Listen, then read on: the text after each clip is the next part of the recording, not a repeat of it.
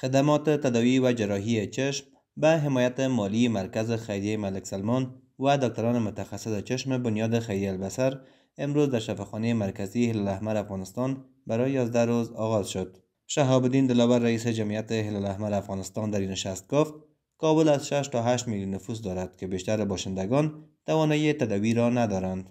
کابل مرکز تقریبا شپږ تر اته میلیونه نفوس لري.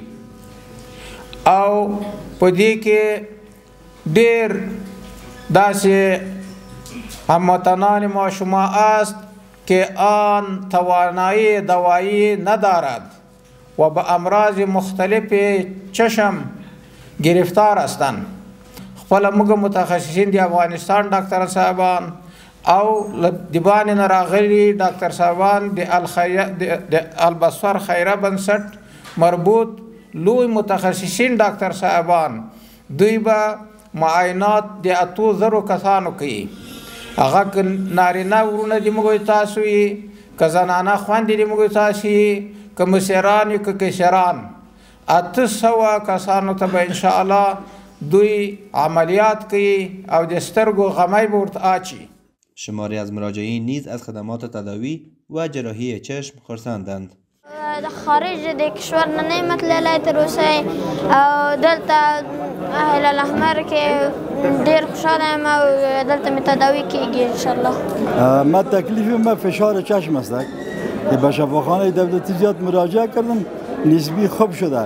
وقتی خبر شده که موسی به خلیفه سلیمان و البصر آمده خوش شدیم با اینجا آمدیم نوبت گرفتیم بالا می‌خوایم که تداوی شه تخمینا 6 8 ماه میشه که چشم درد است.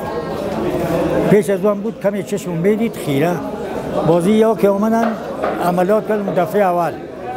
دفعه اول که اومدن عملیات کردم یک ذره خوب شد. دیدم با پس گشته دو سه ماه میشه که پس دید موندم دیگه شفاخانه شخصی رفتم خانه به خودتان معلوم است که شفاخانه شخصی پیسه می‌گیرن و کار و قدر چیز نیست. چند جا رفتم تقریبا یک 50 60 هزار مصرف کردم نشد. حالی شما آمده دیگه برادرها آمدن آمدیم با امید خدا که خدا کمک کنه که یک دید چشم ما خوب شود. از حکومت خواستم اینمی است که همیشه اینمی تو کمک ها رو برای مردم غریب و بیچاره خود ما که در فقر زندگی می‌کنه کار مثلا کم است دیگه چیزی نیست. به این خاطر خوش بنشیم که باید مردم کلش علاج کارشون شود. پرده شد. آژانس خبری پژواک انعکاس دهنده حقایق.